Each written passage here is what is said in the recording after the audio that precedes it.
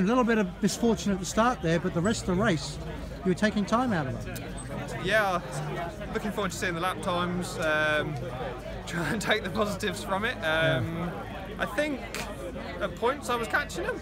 Yeah. And then obviously the last lap when they started really racing, I'd Mm. been flat out for 50 odd minutes and they pulled away again. But um, yeah, I felt really quite good. And uh, considering the early laps, I was just stuck behind traffic a lot of the time um, and not able to like really put in the lap time that I wanted to. Um, yeah, I'm happy with that. Yeah, quite.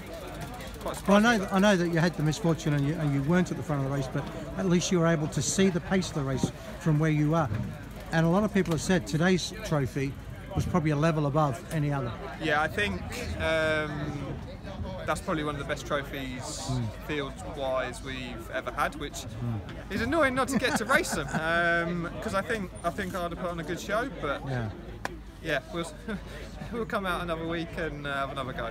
What's what's the program now for you? Uh, I got weekend off, um, try and get over the jet lag a little bit more, um, and then I am off to Switzerland for the World Cup the following weekend, and then it's Irvine. So all the World Cups, all the trophies apart from York, because that clashes Right. with the World Cup. Um, so yeah, well, it's a busy old winter. yeah, I think it's like 24, 25 races, only two weekends off maybe in the whole season. So yeah, good to go.